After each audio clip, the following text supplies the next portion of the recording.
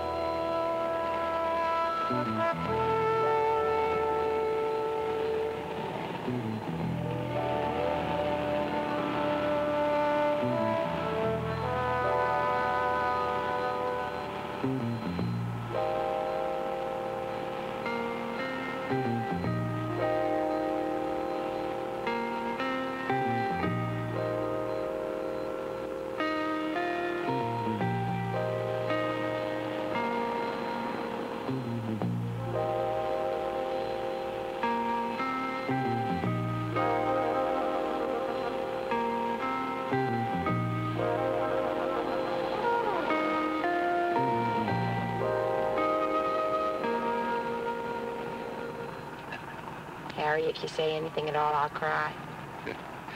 well, you've got ten minutes, Joy. It's an eternity in this place.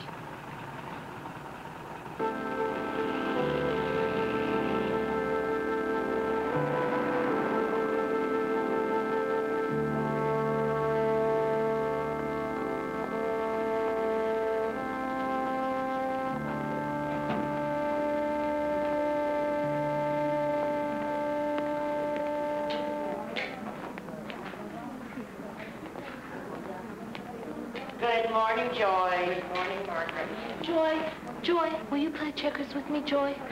Yes, Annie, I will play checkers with you, and I will beat you. But not until I've had about 64 cups of coffee because I have a hangover. Joy, hangover, Joy, Getting much, you fever? Listen, Johnson, I've about had it with you. I want you to get your butt out of that sack and get it in gear because you have work to do. I want you to clean the bathroom floor. Then I want you to clean the toilets inside and out. Then you will scrub the bathtub and all the sinks. Then you will polish all the fixtures, and then you will wash and polish all the mirrors. Then you will wash the floor of the shower, and then the walls of the shower, and then you will wash the shower curtain. And when you are finished with all that, Johnson, you will then cook us all a nice big Mexican dinner.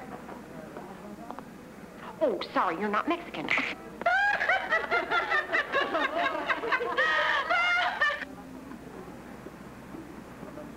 oh, excuse me, I'm sorry. Can I get you something? Yeah. Robert Redford.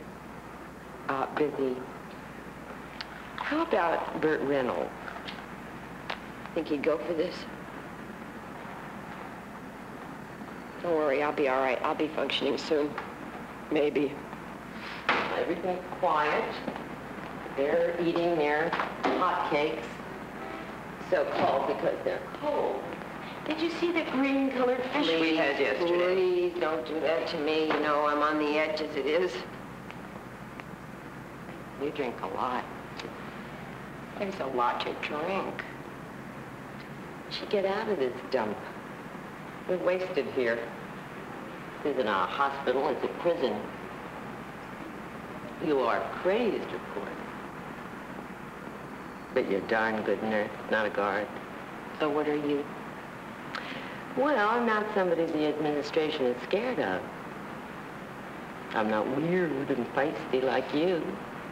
I'm a 56-year-old nurse. You are? Yes, 56. Oh. and who's going to hire a 56-year-old nurse? Except the state. You could retire. To what? Did. You look great for 56. You make wonderful coffee.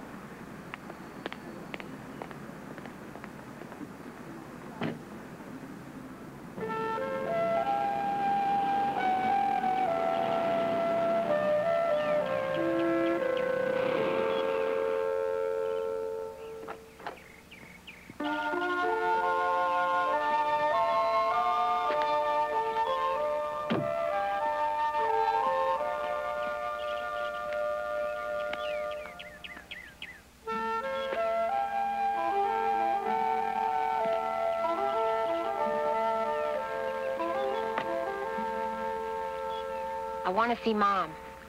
She's not here. Oh, you're guarding the door like the Chinese communists were coming up the road. All right, you're safe. I won't come in. I just want to see Mom. She's not here. Are you afraid someone's going to see me? Your misfit runaway daughter, who so disappoints you because she doesn't spend all her days and nights giving you grandchildren, among all the other things that you find wrong with me? That's stupid. Yes, it is. Please. I want to see Mom. I need to see her. I'm thinking about moving on. I'm not certain, but I'm thinking about it. Maybe I want to say goodbye.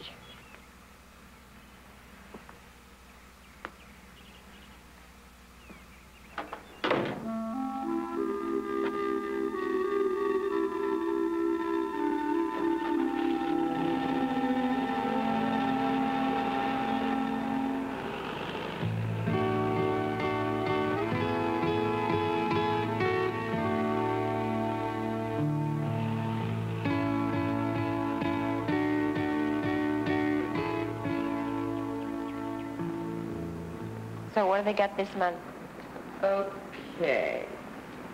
Neurological telemetry unit to work an exciting clinical research unit designed for telemetric monitoring patients with seizure disorders. Wanted, phlebotomist supervisor, cardiopulmonary rehabilitation coordinator, alcoholic rehab. Terrific. I can earn as I learn. Open heart RN, pump perfusionist, hemodialysis RN. Here's one, pediatric opportunities. I don't want to work with kids. Can't handle that. Uh, consider urology. Why? A terrific shift differential. That's what it says, terrific. Where? 10% PM, 15% nights, Pennsylvania. Not terrific, but not bad. Continuous education available in-house, medical dental coverage, substantial reimbursement for unused sick time. Make the choice today, it says. Night nurses are special people. Yeah, they have no friends. Uh, contact Noreen Murphy at 2... Johnson just fought. Crash car. All right. Tell Glass gonna get you the crash car. All right. All right. Open her airway. Okay. Open it. I need an airway. We need an airway. We need an airway, and we need Dr. Needham if he's not too drunk to get here. And we need a car. And we need oxygen. Get the car. Get the oxygen. She's aspirated. I need a suction. suction. Get a suction, Ronnie. Where's the car? Where's the car, Ronnie? All right. Okay. I'm here, Johnson. Come on, come on, come on, come on, come on, come on, come on. I'm here. Come on. You're not going. You know why? Because you got toilets to clean. And you got, and you got showers to clean. Come on, Johnson. I'm here. And you got tacos to fry. We need a suction. It's not here. It must have been borrowed.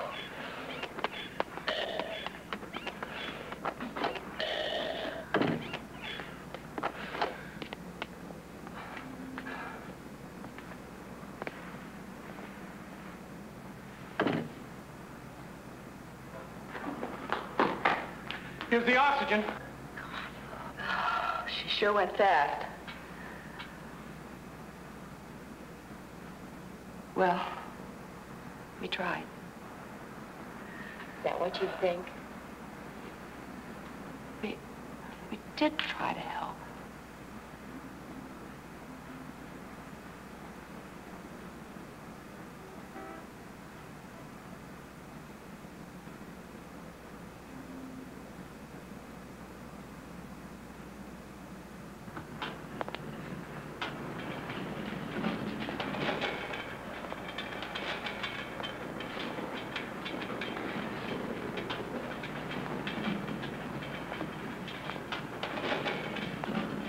Hi, Joy. Hi. Johnson? Yes. Autopsy? No, no need. Just your basic myocardial infarction. Oh, Lisa, you didn't have to bring her down. Yes, I did. I wasn't with her. She went out alone. Everyone checks out alone, Joy. No.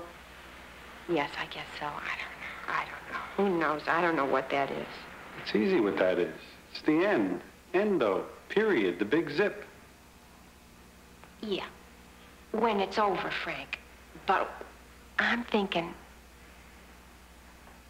when you're dying. That stretch when we're still alive and we're dying. Those moments, that combination, that must be quite an experience, Frank. I think you ought to be able to share that if you want to. See you, Joy.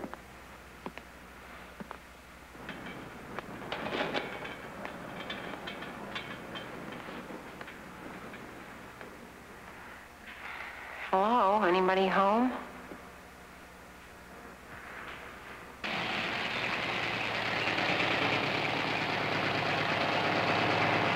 Hi, Joy. Quitting early? I'm quitting. You're quitting. I'm quitting, Harry. Where are you going? Out. What are you gonna do? I haven't the faintest idea. How's Molly? Well, she's better, Remission. I suppose. Go for it. you too. I'm gonna try.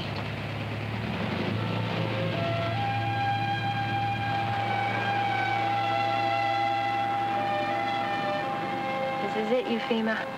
No more boondocks. The big time.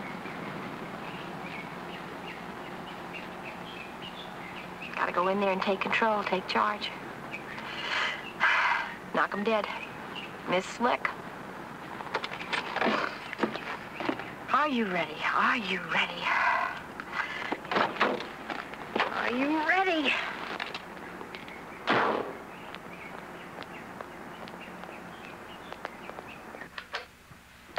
Miss Ufema is here.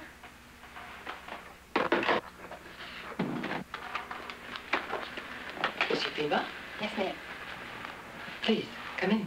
Thank you.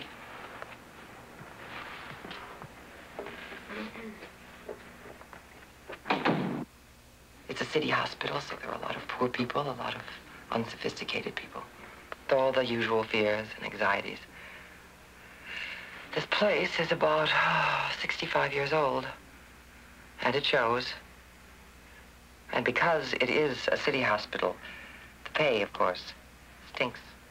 For an RN like yourself, about $200 a week on the day shift. We have two openings. There's a slot on the day shift in pediatrics, a tough ward. The other one? All right. We need a charge nurse on the night shift in neurology, our toughest ward. A lot of very sick people. Kidney surgery, nephrectomies. A lot of yellow shoes. Second effort required. I'm sorry, second effort? It's a sports term. Go in and win when you're losing. Second effort. Oh, yes. I invented it.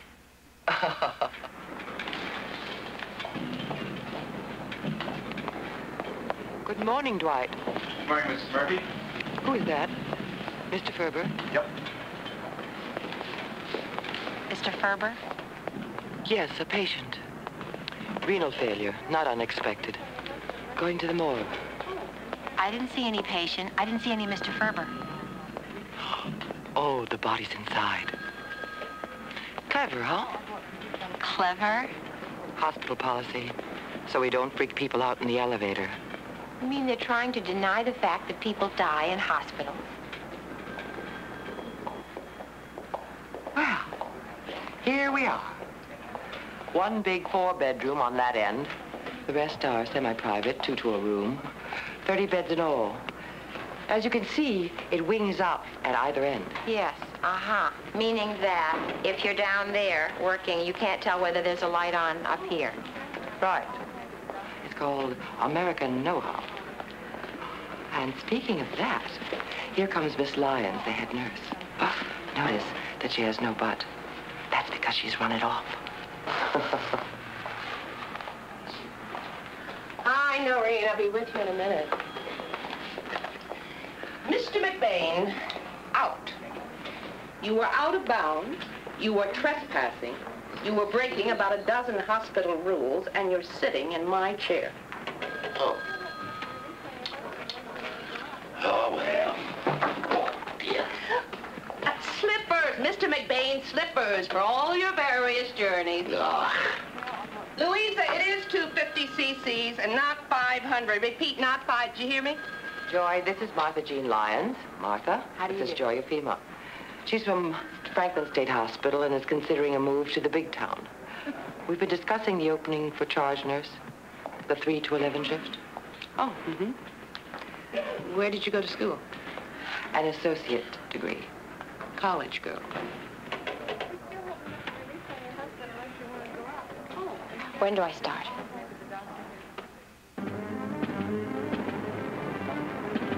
Code blue,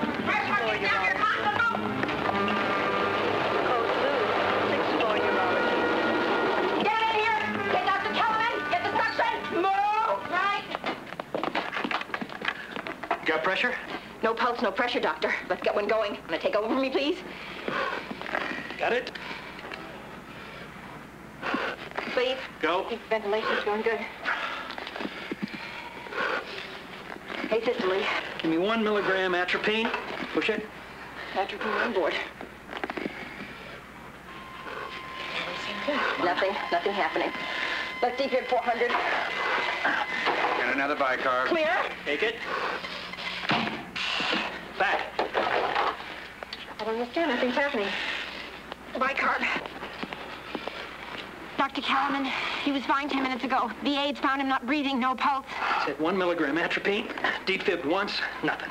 Zip. Okay, hit him again. And another bicarb. Clear. Take it. Back. Bag it. Bicarb. Push. No rhythm.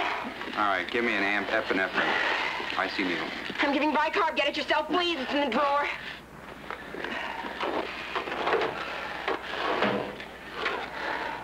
All right, stop compression. Take it. Nothing.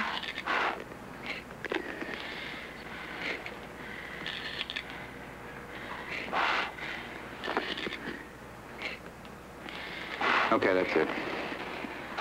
Shut it down. He's gone.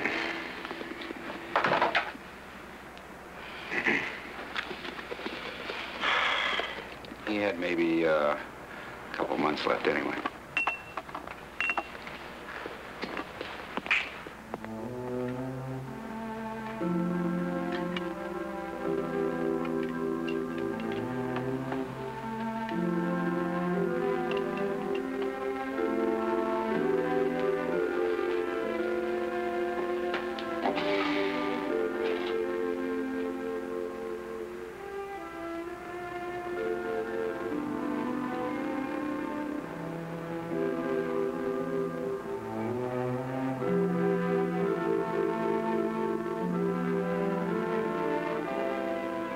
I gotta do charts. I'm way behind.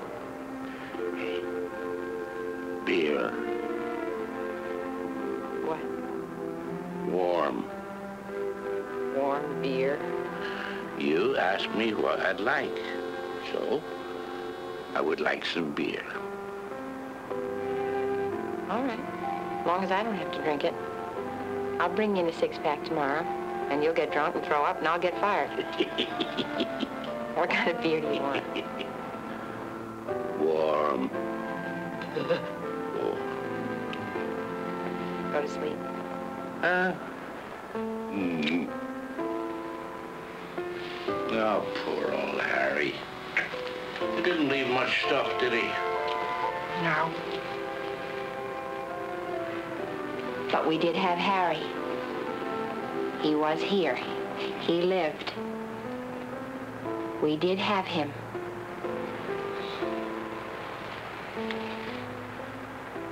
Urology conference will begin in 15 minutes in the main sixth floor conference room. The nephrology conference... Take it easy, Franklin. Good night.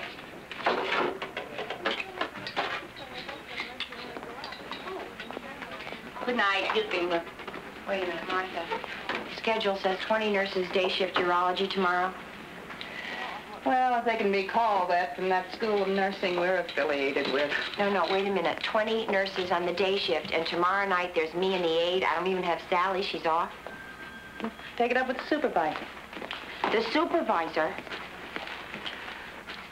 The supervisor rolled through here last night clutching her file folders, and we were up to here in poop and guts and blood, and I said to her, what we have here is unsafe nursing because we're understaffed, and could you just pitch in and help us out for an hour or so with this? And you want to know what she said to me? Quote, what is your name? unquote.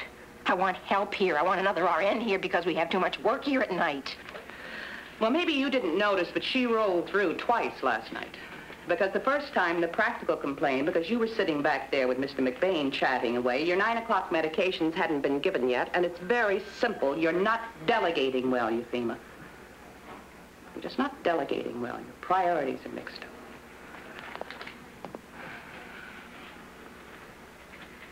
Joy, you want to survive. You want to stay on here. Learn your shortcuts. Dr. Kellerman, ICU Good night. 2005. Dr. Kellerman, call ICU 2005 Shortcut.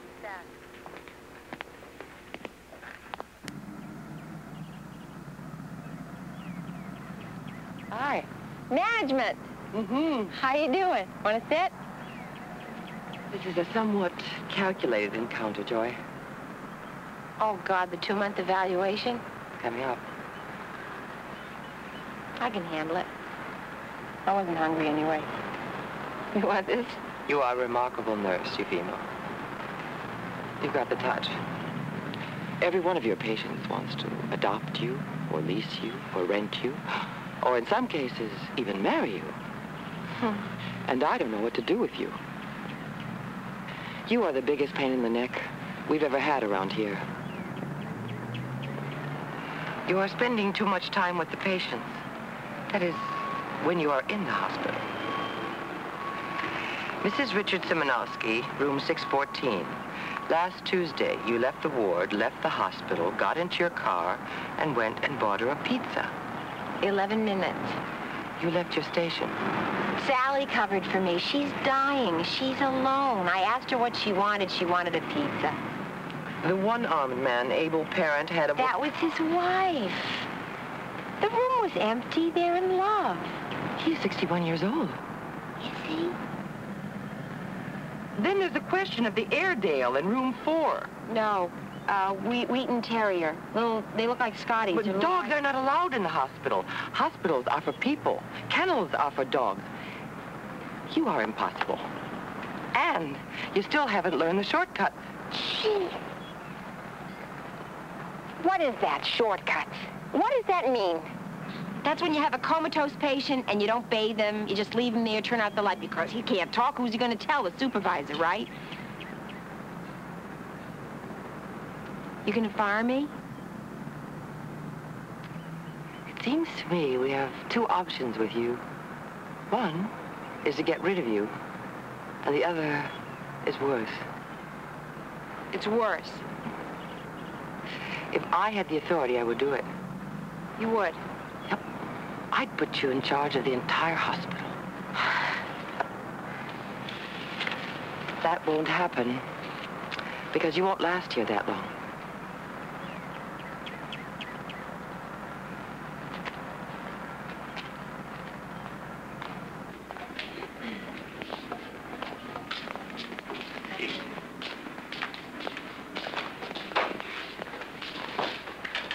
How's she doing, Doctor? What about letting her go home, Doctor? Don't you think she'd rather be at home? Kidney failure, and you want to send her home. That's senseless. They can't take care of her at home. She's too ill. Well, is there anything more we can do for her here? No. Well, then why not get good visiting nurses and let her go home? Just what are you proposing, nurse? That you go in there and tell her she's dying? No. That's so ridiculous, so unfeeling. No, I can't I'm believe it. proposing that we give her the choice of what would be best for her. Don't you assume that she knows she's dying? I assume nothing. But I do know you're not going to go in there and tell her she's dying. That's grotesque. You're not listening to me, Doctor. The woman is severely ill, but she's still entitled to her opinion. Nurse. Can't we give her her dignity? Can't we let her die where she wants to? Nurse, you're on the medication cart. You're not Billy Graham, and you're not Albert Schweitzer. You're a nurse, and by definition, nurses deal with the living, and that woman is alive.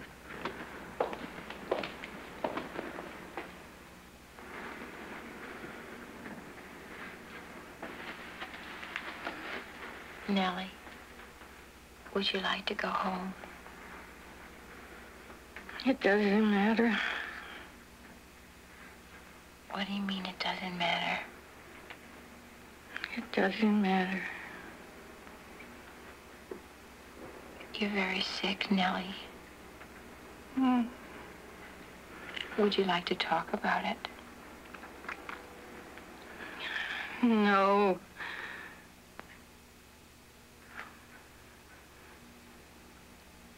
Can I get you anything, Nellie? Okay.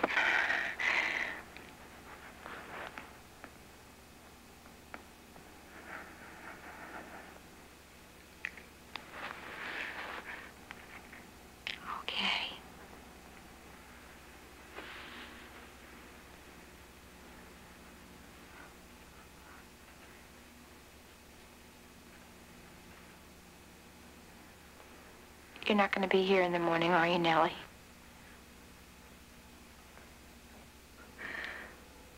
No.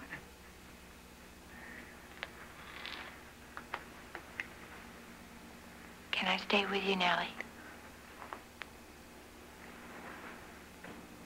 I'm gonna stay. Maybe we can share it.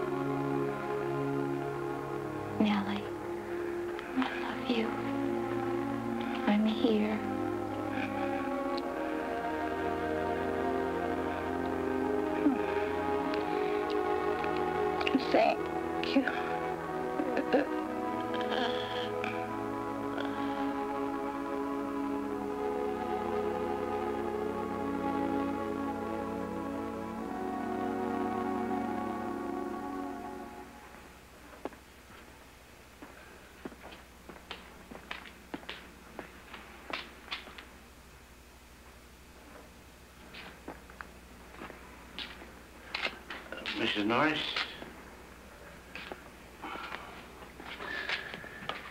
You know,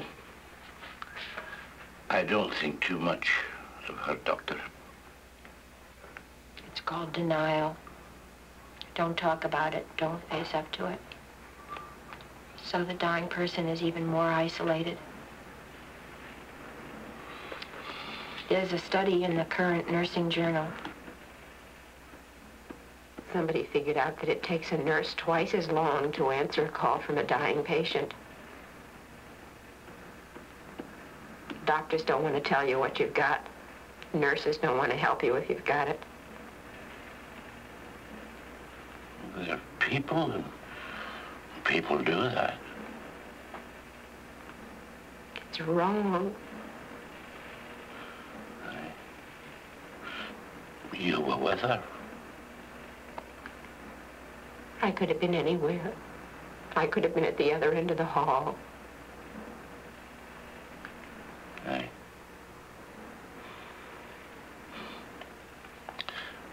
You want to be here? The hospital charges you $30 a month to park on that lot. Because that way, actually, we lose money. That way we can write it off. It's a tax gimmick. Till we can build on it. There's always a gimmick. It's called Get the Staff. Shoot. It's the usual weekly special. Nothing new. Oh, Miss Murphy? Harley, Um, I was wondering how I find out how many vacation days I got coming. Harley, if you can't remember, go to my office and talk to Joni, my secretary. See, I just lose track, that's all. Oh, where'd we get her? Uh, uh, what about the pants? Can we wear pants? Did you get a ruling on that? Nope, not yet. um, our bathroom is still out in emergency. I'm aware of that. Use the visitors, John. Have you seen some of our visitors? I mean, there ought to be a dip tank by the door. Those aren't the visitors. Those are the patients. Your humanity overwhelms me. Oh, you do the midnight run in emergency and you'll be overwhelmed. I have for 18 months, Miss Franklin. You've got 17 to go. Well, no more complaints? Just the rotten bathrooms, the rotten skirts, the rotten staff food, The creep in the laundry room. The lousy equipment and physiotherapy. The eccentricities of Dr. Lattice. And the parking. Is that all? No. Come on, this is all garbage. You guys know that. I think what we ought to be talking about is how we can take better care of the patients, especially those who are critically ill and dying. Yes, we are giving very good medical care, and yes, we are making sure that they are physically comfortable. But we are forgetting that there is a person that we are losing. We are not meeting their emotional needs. And so I was thinking that maybe this is a good time for us to be questioning our own feelings about death so that we can be learning how to stay with the dying patient instead of isolating them. They're scared, and we're scared, so everybody's scared, but we're afraid to uh, go in there and get involved because we all want to save ourselves a little heartache. I think it's very important for us to be together on this. I've been going to some seminars and doing some reading, and and I'd like to read you one thing that I think is astounding. Okay, our time's up for today. Let's save this for the next time, and then I can miss it.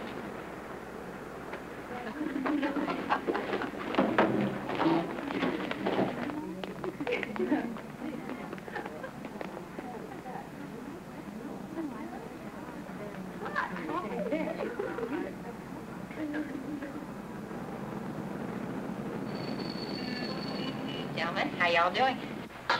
We are here to prep Mr. Harrison, who looks like he'd rather be in Cincinnati, but he has to be in OR tomorrow, so he's going to get a haircut. I shouldn't be doing this. The orderly should be doing it, but yesterday was payday, so guess who didn't show up?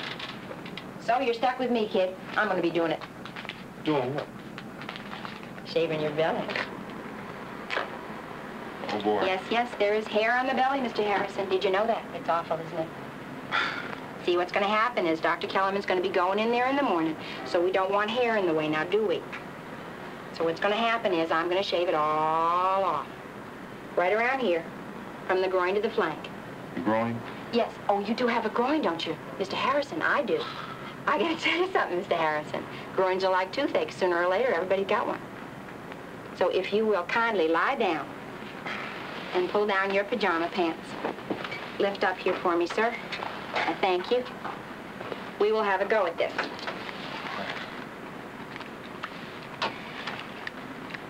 So, Mr. Harrison, hear any good racial jokes lately? I got a great one for you. Black guy walked into a synagogue. Oh, come on, I... Says, I'll have a scotch under rocks. The rabbi says, wait a minute, wait a minute, what do you think you're doing here? Black guy says, I know what I'm doing here. What are you doing here? Joy, Yeah. you want to come to room 604? Yeah, Harley, as soon as I'm done. Couple minutes. Make like this. the black guy says, let me ask you a question, Rabbi. Do you have something against mixed drinks? So they said the machine or transplant. Well, the machine costs $83,000 a minute or something. Anyway, here I am. A man died this afternoon. And here I am. Being debilitated by a honky. I can have it. Oh, you can, huh? That's great. Hey, honkies have feelings too. Did you know that? Oh, yeah? Says who? Joy, are you coming to 604? Right away, Harley.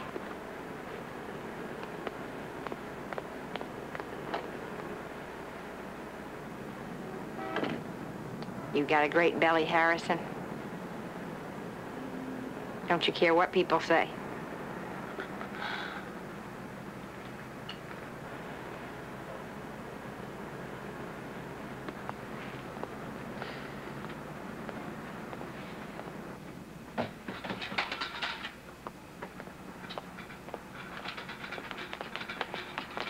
It's too late. He's gone. Oh. What are you trying to get to?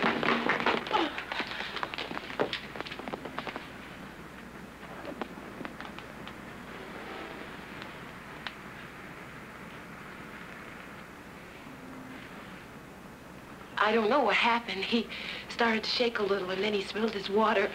And he started making these funny sounds, so I came to get you, yes, but you but you wouldn't didn't say trouble. You said come to room 604. You could have called a code. You could have called Sally.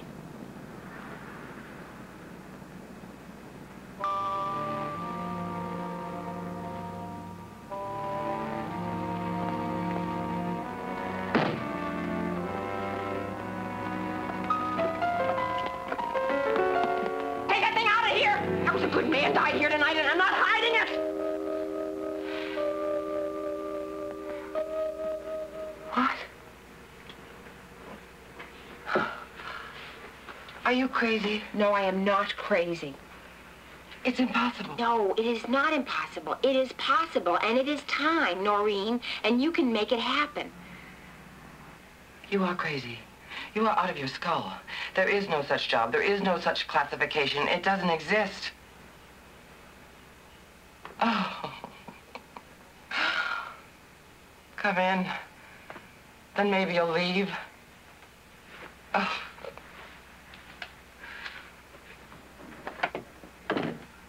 There is no such thing as a death and dying nurse. That is hogwash. Oh, come on, Noreen. You know there is. They've been doing it in England for years. Well, that's there. This is here and now. There is no precedent for it.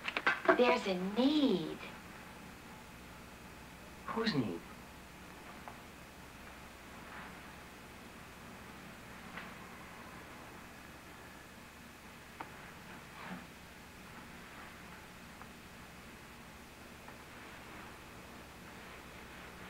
It is strange for me to be helping people to accept death as a way for me to accept life. I don't know. But I think I'm good at it. You're right. You are strange. I should have fired you. That's what I should have done. What do you want? I want all the dying patients in the hospital. Do you think doctors will refer you? I have no idea. I don't know. Do you think dying patients will even talk to you? Yes, that I know, and I will talk to them, and I will be the only one around here who does.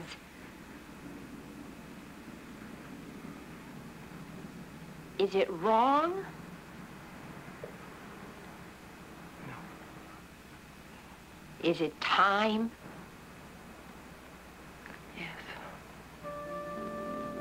Is it me?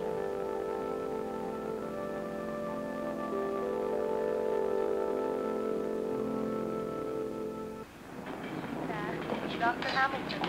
Call Last 4080. Got the answer, we hoped. Same. So here he is again. Same old thing in the bag, Mary, same old thing. call I You can't just come back again. 010. Got him on chemotherapy. Surgery? Pointless. And the prognosis? A couple of months. Talk to him. Do uh, whatever you do. He's an interesting, tough, hard hat guy. Steel worker. Second time around for him. Yes. Well, I want to thank you, Dr. Burgess. It's the first referral I've had from a staff doctor. Yes, you can't imagine how difficult it's been trying to get someone like yourself to understand what it is that I'm trying to do. Thank you. Hmm. Mr. Kurtzreba. Good morning. I hope I didn't wake you. Oh. I hope I'm not disturbing you. No. My name is Joy. Well, hello, Joy. May I sit? Would it be uncomfortable Sure. if I sat on the bed? Oh, Plankett. Come on. I'm a special nurse, Mr. Kurtzreba. I work with people who are seriously ill here in the hospital, and Dr. Burgess suggested I come in, that we get acquainted, that perhaps you wanted to talk about your cancer. I don't have cancer. Do? Oh, my God. Are you trying to tell me that I got Mr. cancer? Kurtzreba, I mean, uh, what's going on around here? Who the hell are you anyway? Dr. Burgess. Dr. Burgess. Dr. Burgess did a colostomy on you, Mr. Kurtzreba, and you're on chemotherapy now. I can't believe Yeah, well, he told me he took out whatever it was inside of me. Oh, God, I'm Yes. It's the chemotherapy that makes you throw up, Mr. Katriba. Cancer. Came back. It never went away. Are you telling me the truth? Yes. Yes. I hate that I'm telling it to you, but it is the truth. You can die from cancer. Yes, you can. Mr. Katsriba, what did Dr. Burgess say to you when he did the colostomy last year? He just said it was a, a cyst thing. You see, I I, uh, I couldn't go to the John and that SOB. Why didn't he tell me? The, the chemotherapy people, they didn't tell me. Neither did my wife. That's that's my wife. That's my beautiful new wife. She's very beautiful. I'm sorry, Mr. Katsriba. Would you like me to leave? I don't want to. No, no, please. Uh, stay, please. Uh, Of course I will stay. I uh, just got to get this squared away, and I uh, need some answers. I got cancer. Why didn't he tell me? Uh, You see, I got this beautiful four-year-old boy.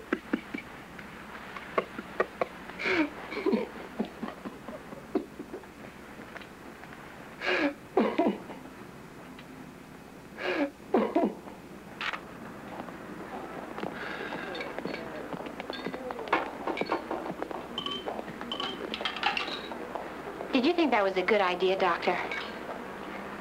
What are you talking about? Jim Katsriba? You didn't tell me that you were avoiding the issue with him. Don't you think that he would have preferred the diagnosis and the prognosis from you? Isn't that what you do? No. What I do is I try and help them once they know the truth. Didn't want to know the truth. Most of them don't want to know the truth. How do you know that? Maybe you don't want to know. Maybe you don't want to deal with it? Miss Ufema, perhaps you don't recognize that some doctors have just as much difficulty in dealing with death as anybody else. Sometimes we perceive it as a failure, and so we choose to avoid it. Did you want uh, 20 minutes on denial from an expert? See, I think if the doctor needs to deny, that the patient goes right along with it because they're afraid to upset the doctor. Look, uh, my job is to prolong life. I think, doctor, that your job is also to consider the needs of your patients and to talk with them if they want to. He wants to talk about this. Katriba doesn't want to be alone with this. He has a great many feelings he wants to express. Listen, lady, I appreciate what you're saying. I, I like your concept of it, but frankly, I'm not sure I can handle what he has to express. I can. And maybe I can help him to take control of what's left of the rest of his life. I'd really like to work with you on this, Dr. Burgess. But if you don't want to, I'll continue to work with Mr. Katriba as long as he wants me to. But you must understand, it's not easy to face up to failure. You haven't failed. We're all gonna die. The failure is in not talking about it. I don't want to step on any toes, Doctor. I really want to work together.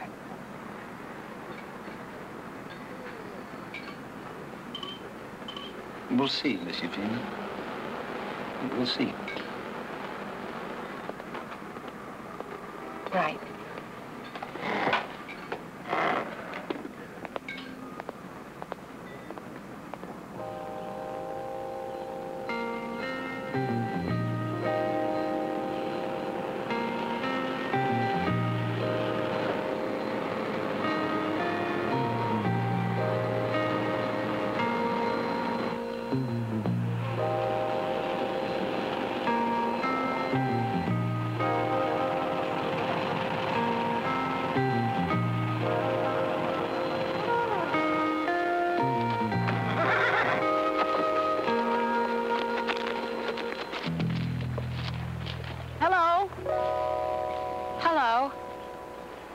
This your land?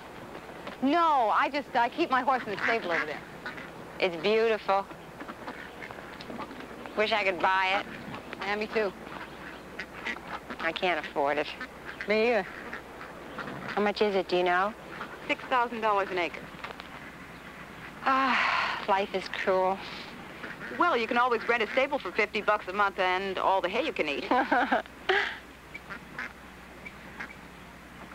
Do you want some tea? I have some extra. Yeah. Maybe I'm pushing it. But I'm a good nurse, Donna, and I'm doing good work. That's not an answer. That's a job description. I asked you why you do it. I mean, what is this thing you have with death? I don't know. Maybe it has to do with living. You're the psychologist. You tell me. Let me ask you a question. Why is it that everybody's afraid of death and I'm not? That's not an answer either. That's a question.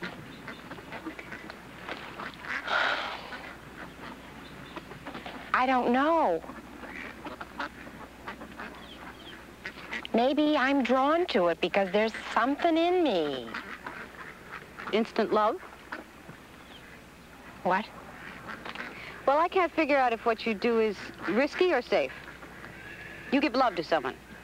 They give it back. But they're not going to be around to give it back for very long. It's not a real big commitment.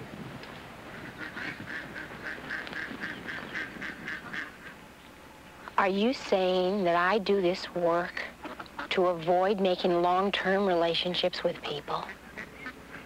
I don't know. I'm saying it could work that way.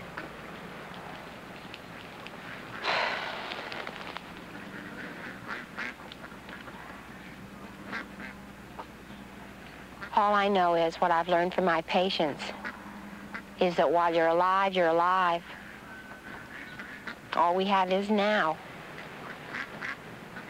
That's not bad.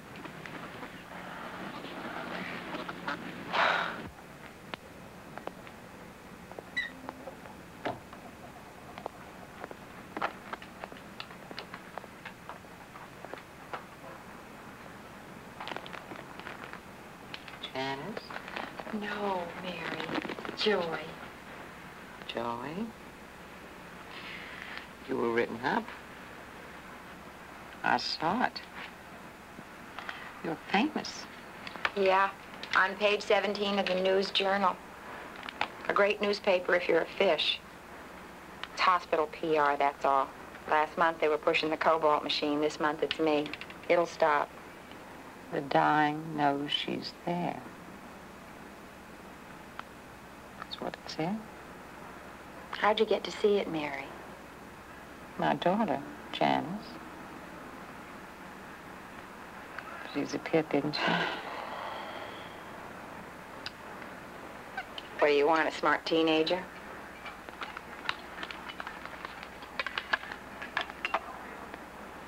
I was just lying here thinking about my funeral. Funeral, Mary. Well, one of my closest friends, Julia Willett, is the church organist. She taught my children to play the piano. All of them. Oh. But I couldn't ask her to play at my funeral. But maybe that's all she can give you, Mary. I couldn't. I can. She's one of the dearest people in the whole world. But maybe that's what she'd give you. A lovely tribute to you. Oh, I don't know, Joy.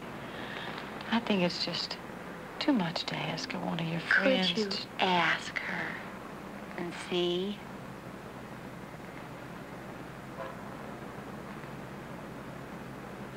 Yes.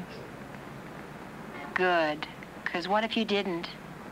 And then she'd have to say, that stinker Mary Coggins never asked me to play at her funeral.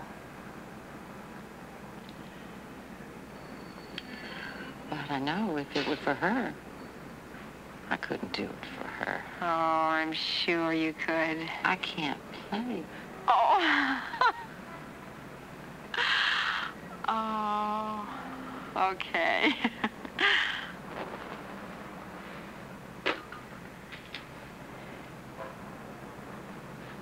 How long is this gonna last? Takes about an hour, you know that. Oh, no, Joy. I mean, how long have I got?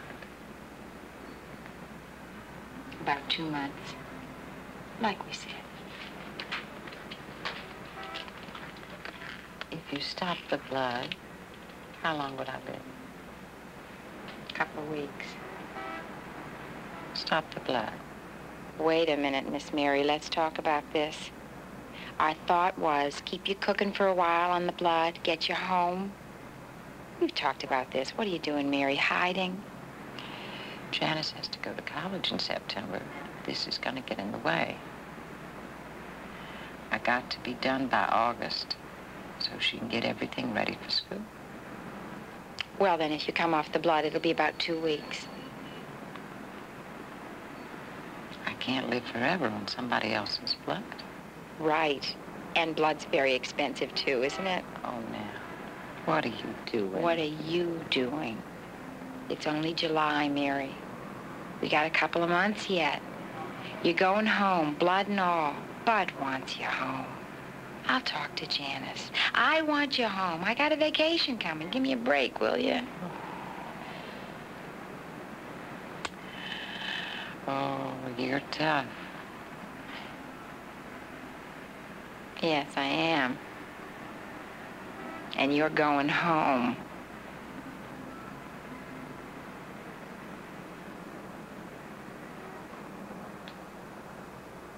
We don't want her home. We can't take care of her.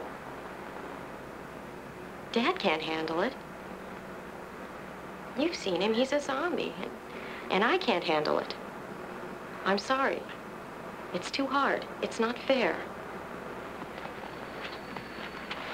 Well, Janice, I can take some time. I've got some time coming. I can spend the rest of her life with her at your house. No. Okay.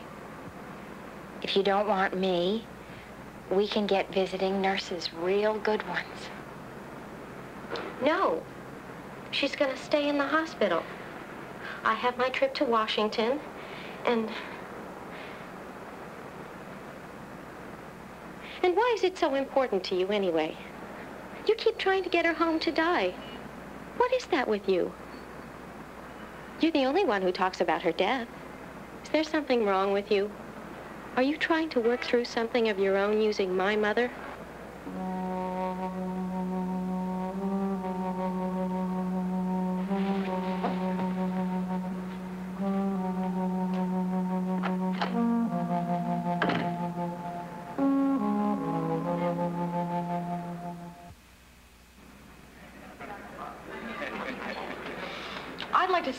That I'm real glad that we became friends and that we have these weekly suppers together here. And in that spirit, if you'd like to get under the table where no one can see you, I'd be happy to hand you things. I'm sorry. Bad day? Troubling. A troubling day.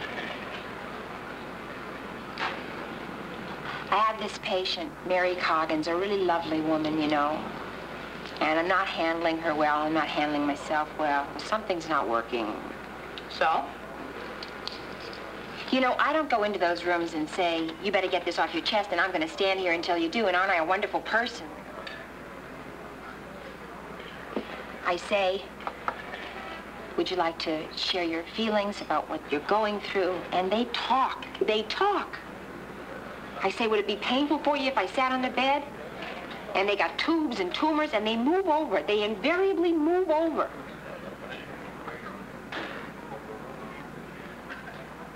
Some of them haven't been touched in three months.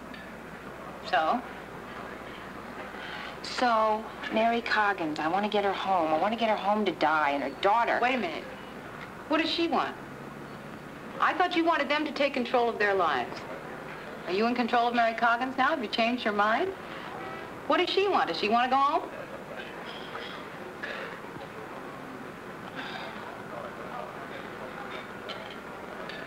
I never asked her. Ah.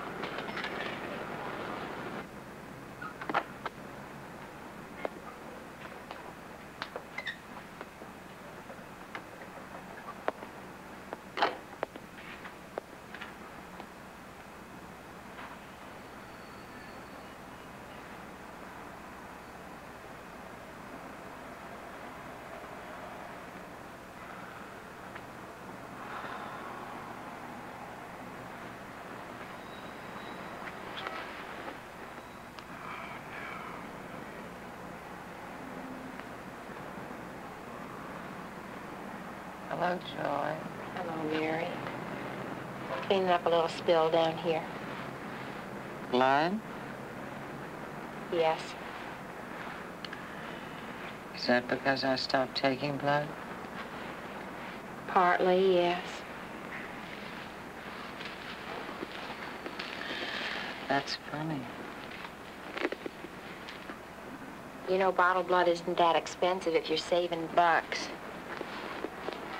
Is that why you came off it? They didn't want me home. Mary. This is about what you want. What do you want?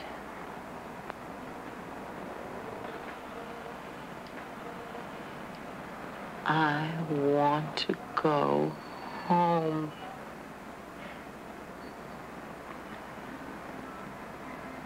Then we'll get you home.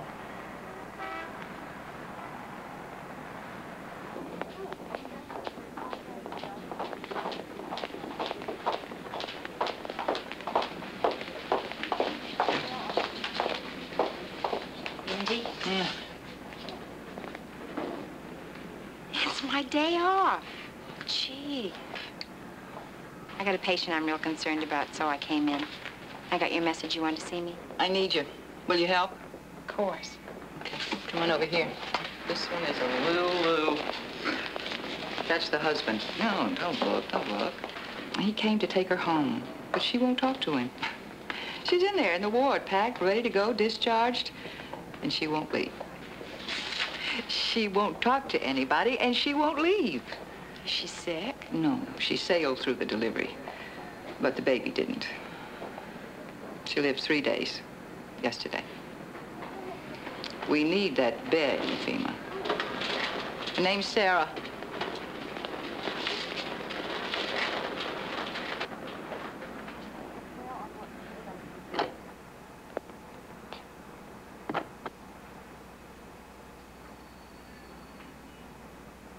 Good morning, ladies. My name is Joy, and I'm on the staff here at the hospital. I'm a nurse. I usually am in uniform, but today, I'm not.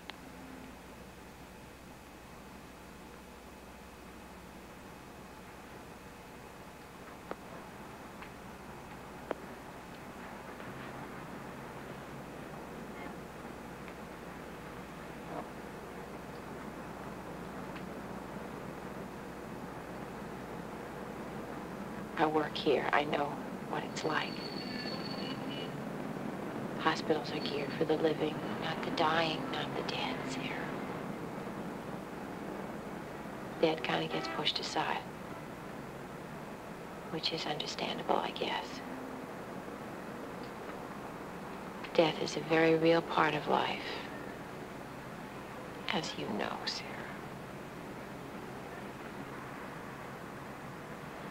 And so, the dead are kept downstairs in the morgue.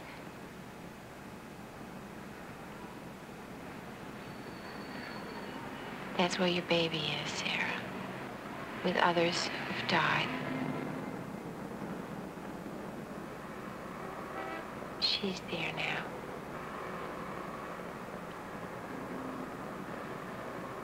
You want to go see her?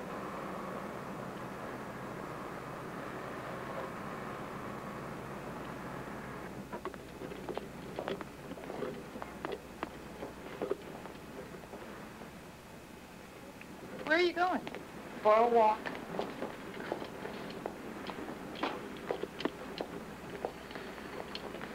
We'll be back.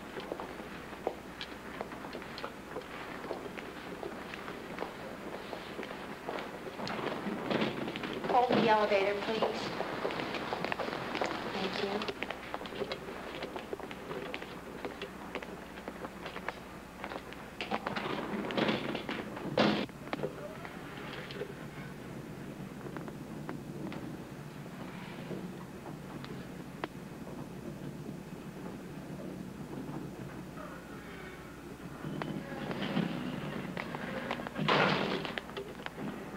Thanks, Kelly. Uh, bye, Joy. Bye, man. Boy.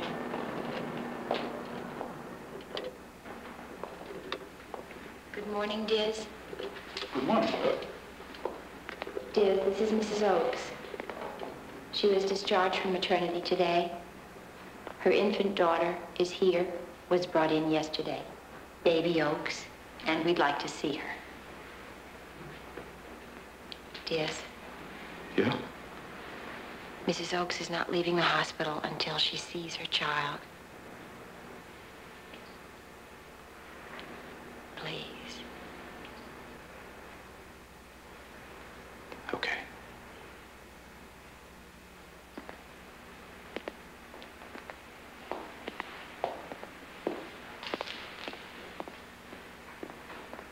Does she have a name? My baby's name is Melissa. Melissa. Melissa will be cold, Sarah. You understand? It's cold in that room. And she will be bare. You understand?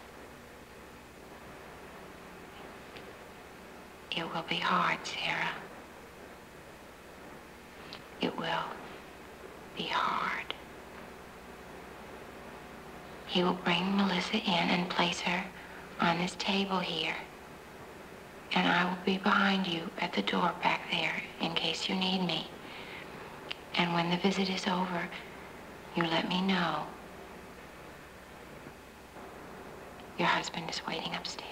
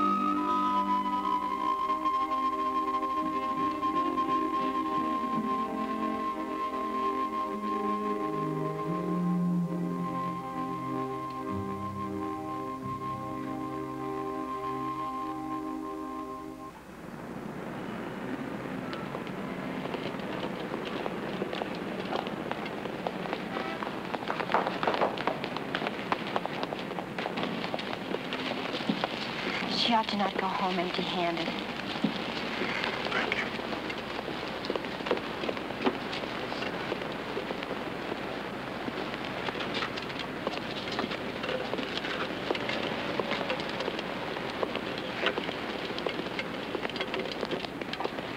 Joy, you ought to take care of the living, not the dying. Are they two different things?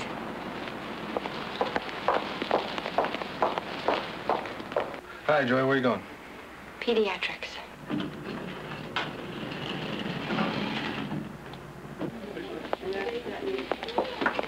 Forty beds. Currently, 32 are occupied. How many are dying, Blanca? Seven. Seven. Eight with Micah readmission. He'll be okay soon. We have leukemia, heart defects. We have a three-year-old boy back here with a spinal tumor. Pain is taking him, I think. Usual stuff, Joy. I was wondering when you'd turn up here. Here's Mike. Pediatrics, Miss Aurelia. Just a moment, please. It's for you. Be back. Thanks. Okay. Hello? Mr. Kima? Yes? My name is Allison Cross, and I'm a producer on the program Sunday Night. Mr. Kima? I'm, I'm sorry. Hello. Who? I'm sorry. Well, we saw the magazine article and some of the newspaper articles on you, and we'd very much like to come out and talk with you at your convenience. About what? We think we'd like to do a piece on you. And your work there at the hospital. You want to... Sunday night wants to do a piece on me? yes, indeed. We're very interested. Who, who is this? Is this Murphy? Murphy. The secret word is... Hello? I've been trying to find you. Someone from the program Sunday night called me. They're trying to reach you. You find it amusing? I find it intrusive. This is a hospital, not a booking agency. Okay?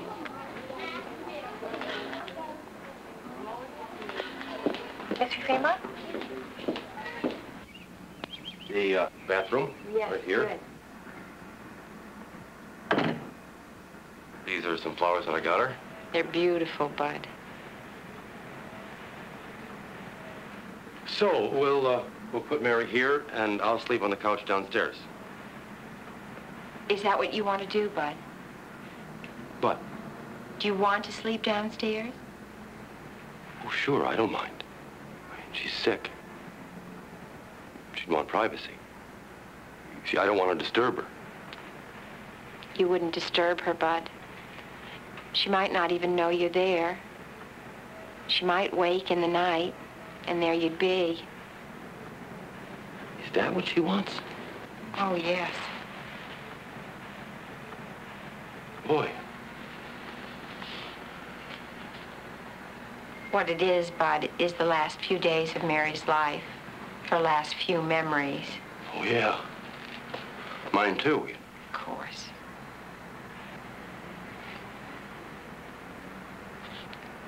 She's a very strong woman, Bud. I know that. And I believe, I've seen it now a lot, I believe that people die the way they live. The whiners go out whining and the strong go out strong.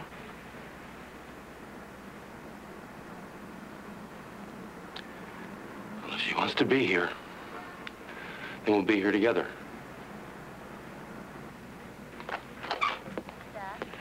Oh, Dr. Whedon? Hello, Mary. What are you doing? Getting the patient ready for discharge, Doctor. She isn't leaving here. She's near death.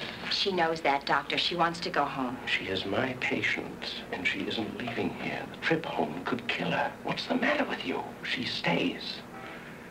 You're the one who's going to go.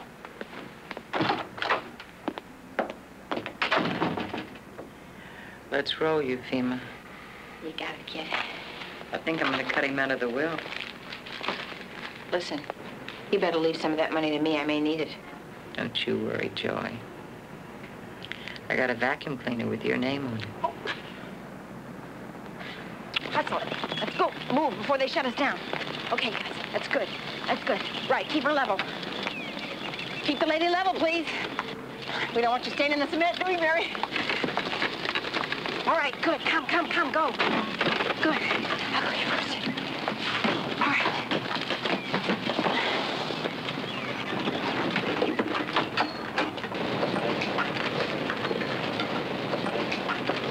Ms. Ufema? I'm Allison Cross from UBS.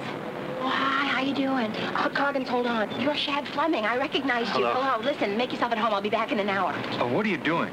Um, hoisting a patient, uh, liberating her. Um, come for dinner. Later. Bye.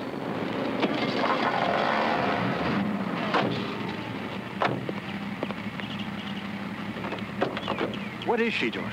That lady wanted to go home to die. They didn't want her to. She wanted to. The Joy's helping her. It's called kidnapping. Right.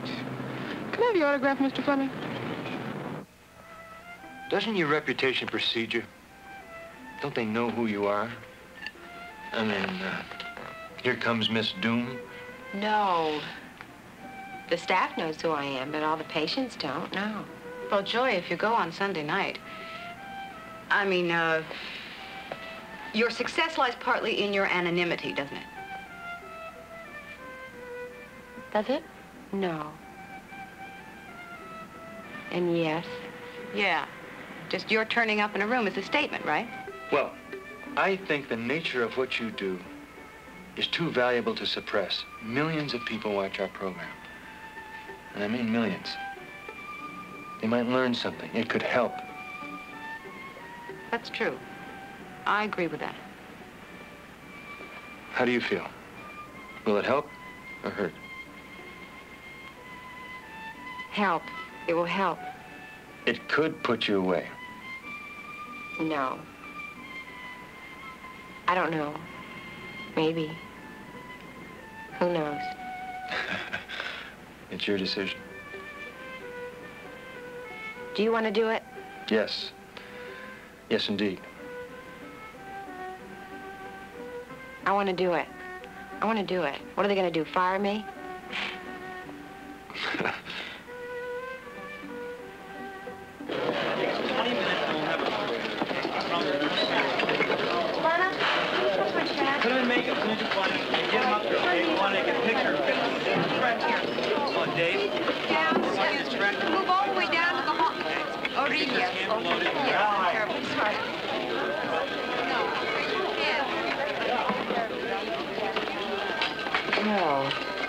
Where's our star?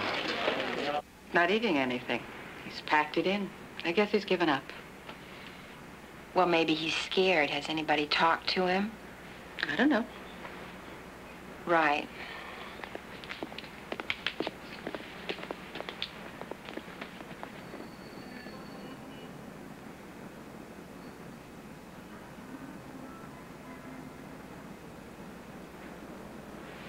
Hi, Mike.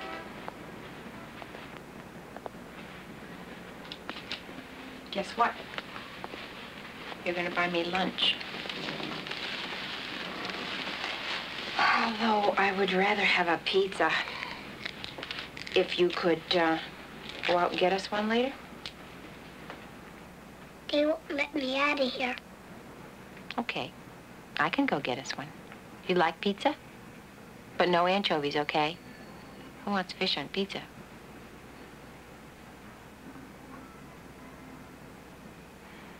That your horse? You like horses? You ever ridden one? You're lying. You are lying. You're a gigantic liar. I'm gonna buy a horse. Good.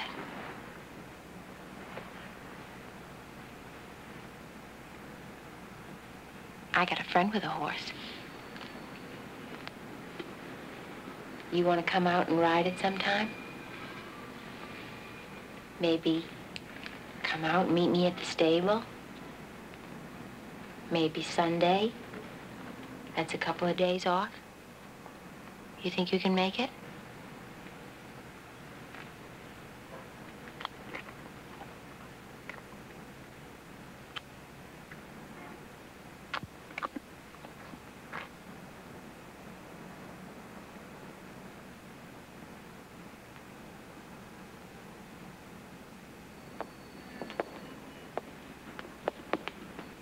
What are you doing? Show and tell?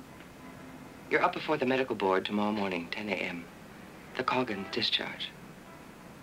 Good luck. I don't believe her. What was that all about? She's uh, management. And a friend, too, I thought. She's been very supportive to me in the past. She's cooling off a little bit lately. Just a tad jealous? Mike, this is Mr. Fleming. Shad, this is Mike. Hi, Mike. We're all set, Shad. Okay, shall we? See you later, Mike. I'm gonna go be on television. I'll see ya. Get that. Bye. Is there a right way and a wrong way to tell someone they're dying? I guess I don't believe in telling a human being they're dying. I think if we listen well, they tell us. What if they just don't want to talk about it? Aren't you taking away, or denying them rather, the right to their silence? Well, I don't rush in cold and say you're dying. I say you're ill. What are you going through with that? What are your feelings about it? Do you want to talk about it? I believe people are grateful for someone to finally listen, to finally ask the right questions, to explore their value as a human being, and to know that their passing means something to me. There is nothing wrong with the fact that human beings have to die. There is something wrong with the way we handle it, I believe. Cut. Good, thank you. Let's uh, move to the next setup, please. Ufema, 10 a.m., boardroom.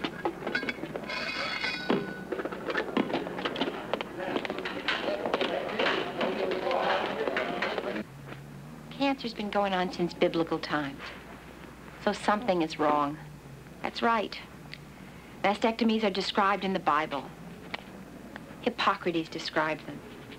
So what have we got today? Daunomycin costs $3 to manufacture, and we're selling it for $44.50. We've got the new Cobalt machine coming in at 1.2 million. And here I am in serious trouble for saying let the lady die at home in her husband's arms. Don't isolate her because she's dying. That's worse than medieval.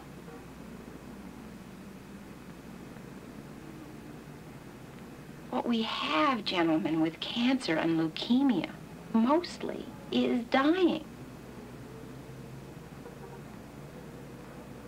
And you can keep the chemotherapy pumping into the blood to affect the DNA makeup of the carcinoma, maybe, or shrink the tumor, maybe. But all we're doing is avoiding, we are not solving, because until we start thinking about the people and not just the machines, until we start thinking about the people, then I am going to go to the wire.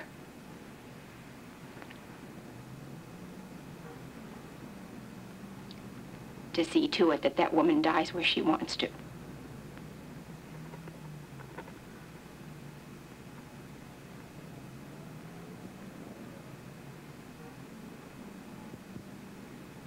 I may be in jeopardy, gentlemen, but you all are in deep, deep trouble. Good morning. And UBS is taping her? I finished today. Can't fire today. That's right. Not today. All right.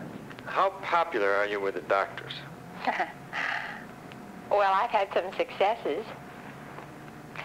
There was a lot of antagonism at the beginning about the possibility of a nurse coming in between the patient and the doctor.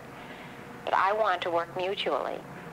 We've had some altercations in the past, and I believe forever we'll have altercations. Of what kind? Well, it's usually about my presence in the room. Because obviously now the patient puts two and two together. I'm stimulating his thoughts, and I'm opening up a can of worms. And so the doctor might say, I don't want you working with this patient. Well, uh, yes, I understand that, doctor, but what about this person's life? Well, he's not going to live six months. Yes, I know that. Uh, shouldn't we be fair with him and discuss that? There are some physicians with whom I absolutely cannot communicate. Hang up on the phone to me, blatant orders, death squad not to see this patient. And so I back off, because at that point the patient's in the middle, and I'm not interested in a custody fight at the patient's expense. Well, one of the things you're doing, I guess, is getting death out of the closet. But isn't there a good case for keeping it in the closet? Only to the extent that by not thinking about dying, we feel that much more immortal. No. If I don't think about my potential death, which is coming up whenever, then perhaps I don't put into life any perspectives or a good value system for myself. Perhaps it's the delusion that I've got, you know, 80 years to get my stuff together and do things my way. So it's it's my plea to all of us before it's too late to live life our way. That was Joy Ufema. Unlike any other nurse you've ever met. Medical people are beginning to recognize the needs of the terminally ill. Special institutions called hospices have been set up to care for the dying. And more and more hospitals have people on staff like Joy Ufema, who each day faces her own mortality. Each day faces the cold reality of death. Indeed, what she offers her patients is a warm dose of reality. Mrs. Shad Fleming, good night. Oh, how many millions of Americans watching? It was good, wasn't it? It was good, wasn't it? That's not for me. I'm not going to answer. The hell you're not answering. Hello, Stars residents. Okay. Bone marrow is this soft stuff inside the bones. And what your disease has done. The blood is bad. Yeah. That's about it. Can they fix it? They're working on it. Fix rate's not too good. It's a kind of cancer, isn't it? Yes. You know about cancer, do you? I don't know about nothing. Yes, you do. You know about horses. You know that horse you're going to come out and meet? Well, we got a problem with him. Yeah, what? He won't eat. At least not very much. Maybe he's sick. I suppose. Maybe he's scared. You mean scared because he's sick? Yeah. Maybe. You're sick and you don't eat. I eat. Not very much. I eat some.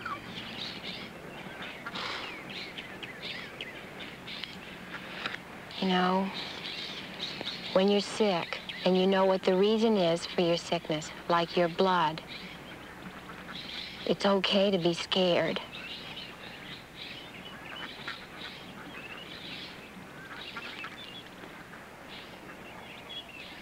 Can't tell that to a horse, though. Could you buy us pizza? Yes.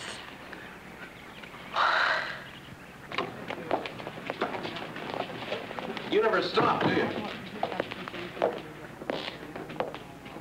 Oh, I saw his chart, Doctor, and I thought, You know, uh, maybe it's time you got your comeuppance. I thought, why aren't we being straight with the patient? Straight? Okay, nurse. Uh, showbiz, follow me. Dr. Hamilton, call urology. 6001.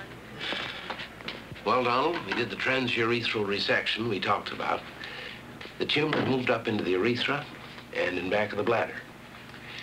What I've done is set up for you to have some uh, x-ray treatments. We'll start these tomorrow morning, and we will shrink that tumor. And that's the plan. It's a very simple one. I'll look in on you tomorrow and see how it's going. There's nothing to worry about. We'll bring it down, and you'll be able to pass your water again. Cut down on the discomfort. Okay? Okay. I'll leave you with Nurse Ufema, who deals with some of our special projects here. Hang in there, Donald. Yeah.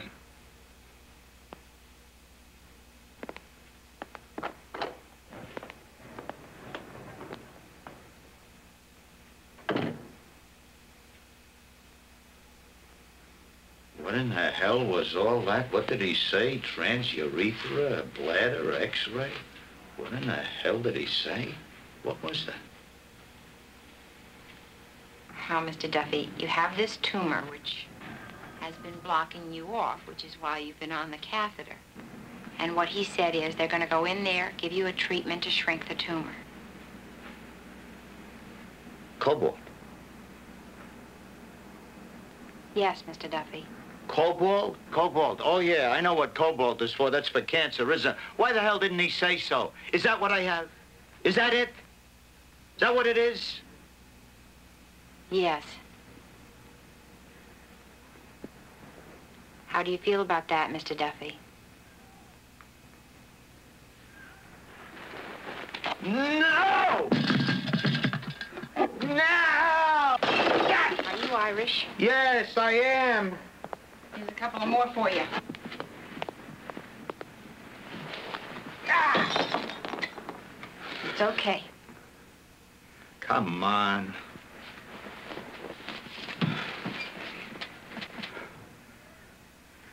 Cancer, cancer. Yeah. Now, how do we help you deal with this, Mr. Duffy? Maybe you got 30 years left to throw things and make a fuss. Maybe not. Maybe just a couple of years. Maybe a couple of good years. What matters is what you do with the rest of your life. Who the hell is talking about life? Cobalt's a last-ditch effort, isn't it? Why bother? You're not dead yet, Mr. Duffy. You're very much alive. The clock is ticking, yes. But it's not the quantity of life that counts. It's the quality of life. What do you want to do with it? Do you fish? What? Do you fish? No. Do you hunt?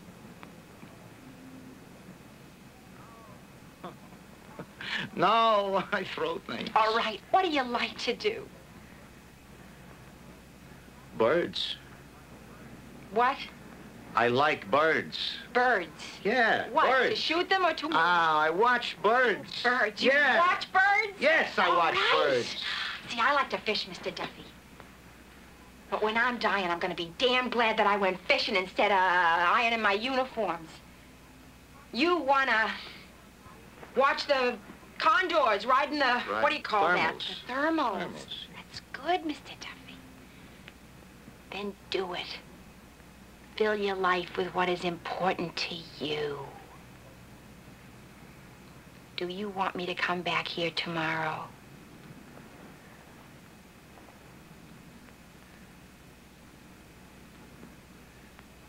Yes.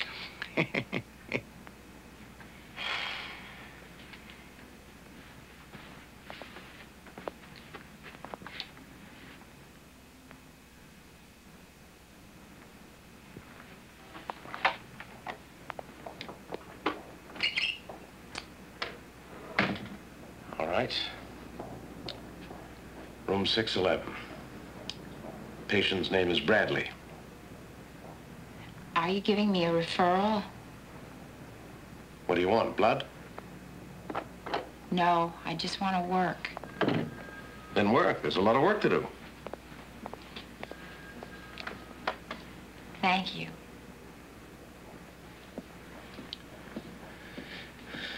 Thank you.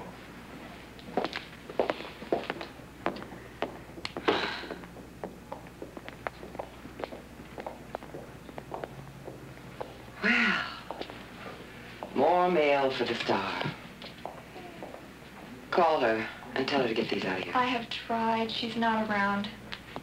What do you mean? Didn't she clock in? Yes.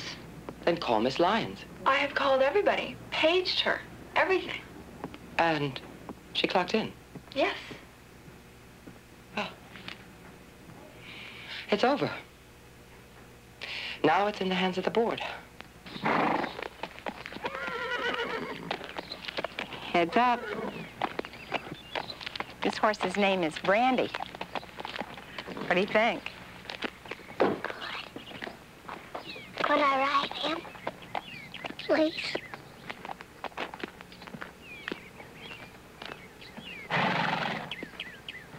Okay. Let's go. He's ready for you. Okay. Okay. Now I want you to hold on. I want you to hold on real tight because the saddle's too big, okay? Okay, here we go. Okay.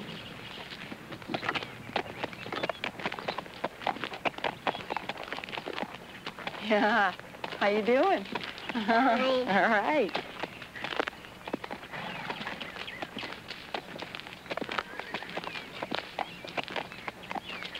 Let's go, come on, come on. All right.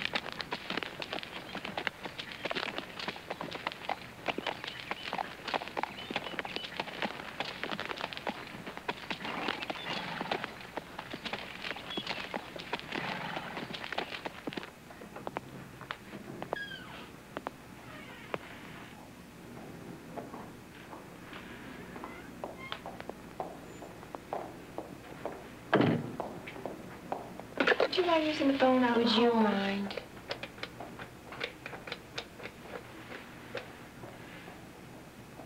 Hi, you want to have a picnic supper? Good, I'll pick you up at six.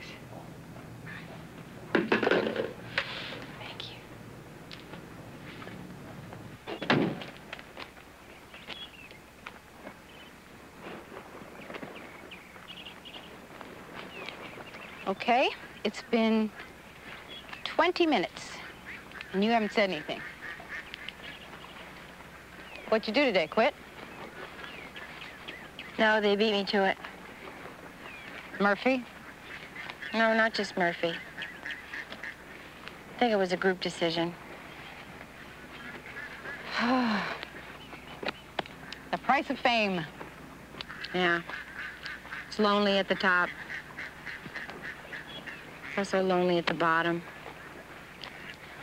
Are you feeling a little sorry for yourself? Yes. What are you going to do? Eat supper. What are you going to do tomorrow? I don't know. Leave me alone. Maybe a hospice. Whose hospice? Mine. Yours? Yes. I've been thinking about it. I can tap into the visiting nurses, the freelance RNs. I can train them, send them out to people's homes, even to the hospitals. It's like what I've been doing, only more. Hospice. Well, it's about time you did what you're always telling your patients to do. What? Take control of your life. I'm working on it. You're getting there. Is that a compliment? Are you being nice? Repeat after me. I can handle it.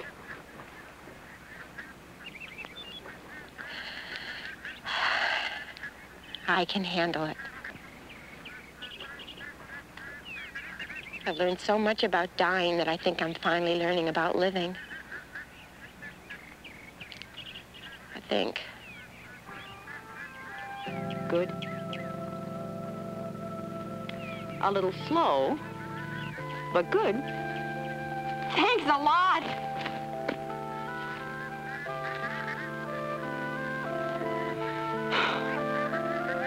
Good place for a picnic. Good place. Period.